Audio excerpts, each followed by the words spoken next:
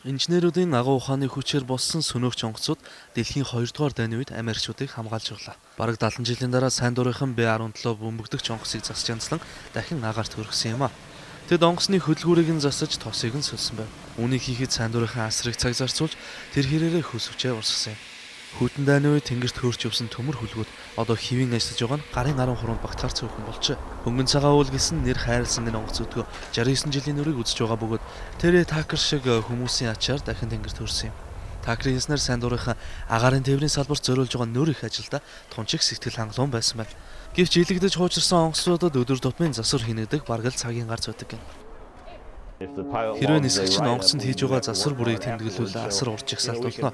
Юу гэхээр бид онгоц нисгээс өмнө өдөр болгон 2-оос 3 цаг тохируулах юм. Тэгээд орой хэдэн цагийн дараа ямар нэг асуудал гарч тэр нь юу юм бол гэж ухаж төгсөрл өдрийг барна шүү дээ.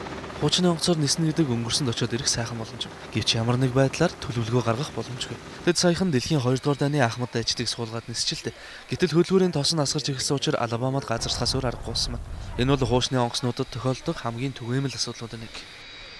Хэрвээ нисэж явтал гэнэт хөдөлгүүрт асуудал үүсвэл яах вэ? Хэрэгтэй хэсэг бүрийг нь олох хэрэгээр. Гэтэл одоо энэ онгоцон шаардлагатай эд ангийг захын дэлгүүрээс ороод авчихж болохгүй. Харин хуучны аргаар засах ганц арга бий. Хэдийгээр олон яривхтай асуудал бичгэсэн сайн дурын багийнхаа онгоцыг байнгын ажиллагаанд байлгахаар хичээж байна.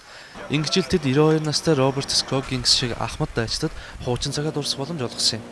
Түүнийг Б17-д суусныхан дараа бид сэтгэлийг нь сонссон юм.